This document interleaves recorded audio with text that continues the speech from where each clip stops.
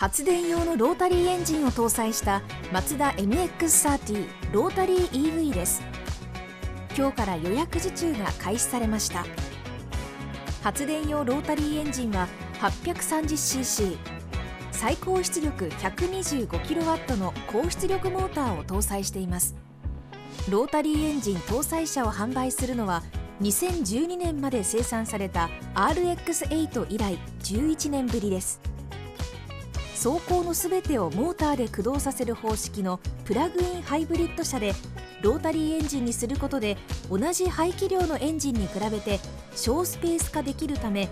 現在販売されている MX30EV モデルと同じフレームに搭載することができます。